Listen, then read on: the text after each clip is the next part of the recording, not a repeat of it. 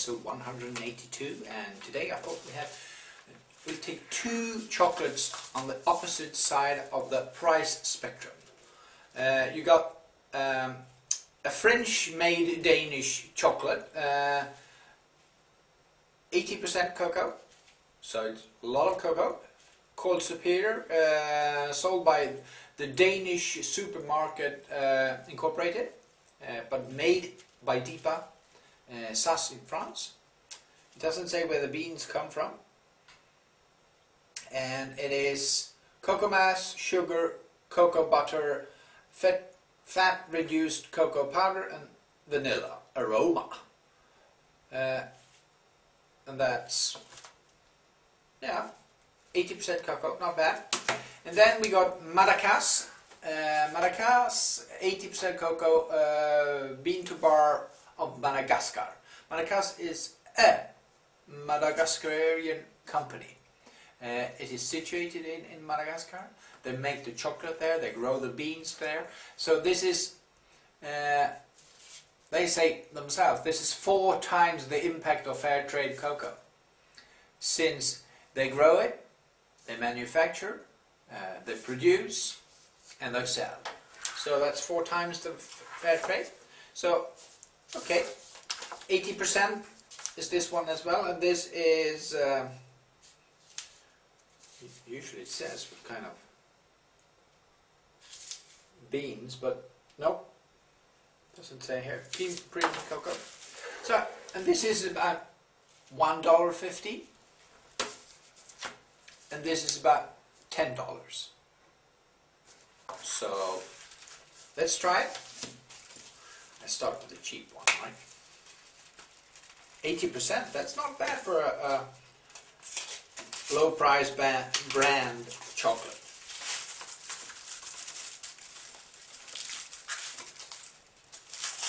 Because keeping the costs down, you should don't use cocoa mass or cocoa butter, you should palm oil or other vegetable uh, fats or you won't use uh, sugar, you take corn syrup instead and things like that.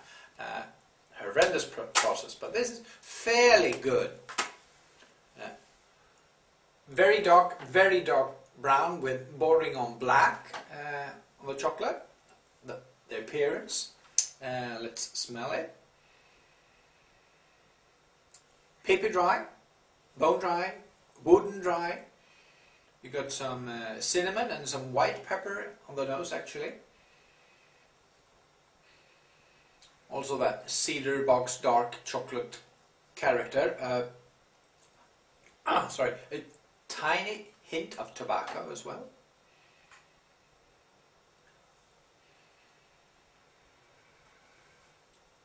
Nice neutral uh, uh dark chocolate nose.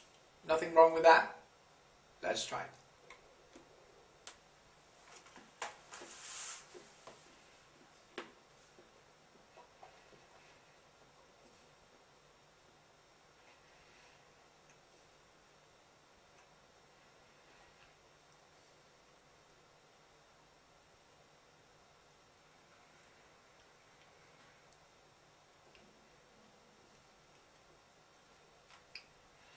Kind of neutral taste. Uh, that normal bitter and bitter and tart uh, sensation for chocolate.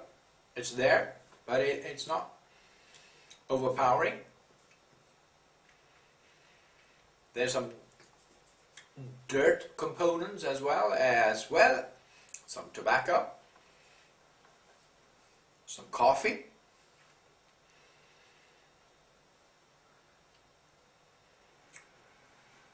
little bit concerned about the fat. It feels kind of strange, but still, dark chocolate, no problem.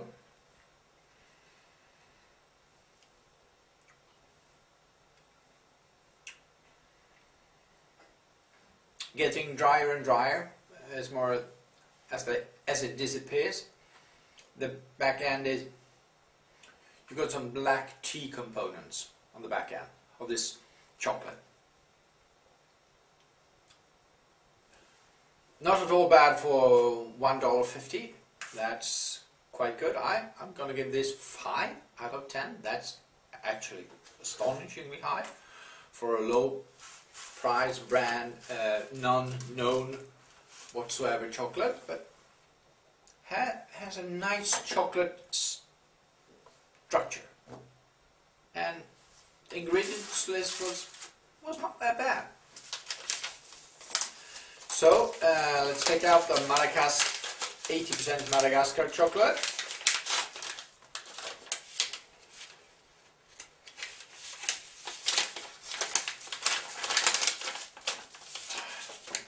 Nice packaging. And this one is also 80% cocoa. So also very, very, very dark brown, but this one has more a red tint than the other one. See, this one is more kind of black than this one. This, when I compare them like this, I have to get me a better camera if I'm going to show you every trace of color. Uh, Let's smell it.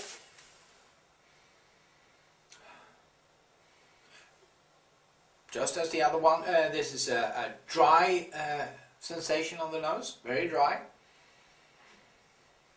But this has some, uh, it, had, it has that dry, uh, dark chocolate uh, smell, uh, like a wooden filings, like paper, like things like that.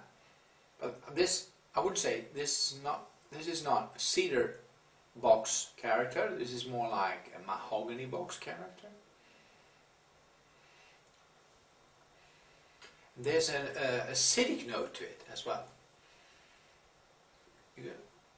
Some green acidic note. And also there's some herbs or spices, more more like herbs actually.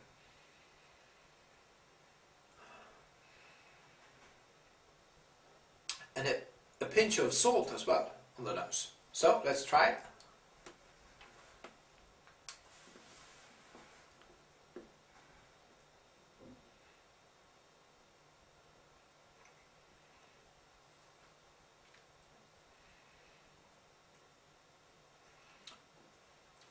The initial flavor is just a tiny bit of bitterness and 10 seconds in you got bam, attack of acidity.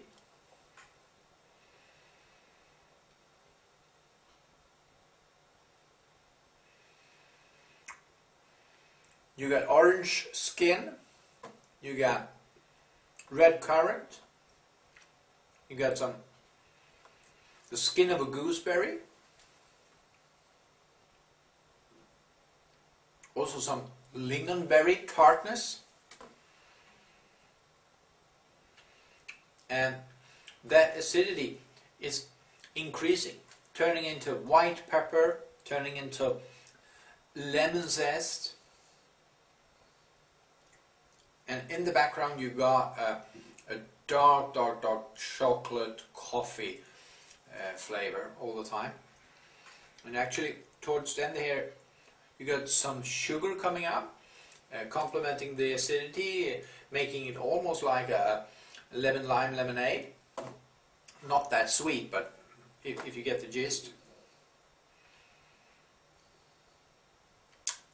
Very dry, sandy dry. And this acidic feeling is with you all the way up to the second before the ending. Then it drops off and you got that dry cocoa powder uh, stuff left in your mouth. At least the flavor of it. That's a roller coaster of a chocolate and it is really good. I like it. I'm going to give it 8 out of 10. 8 out of 10 for that one. Uh, and 5 out of 10 for the cheap $1.50 for the $10. Uh, you pick. I can eat them both. And uh, let's see you next Monday. Bye.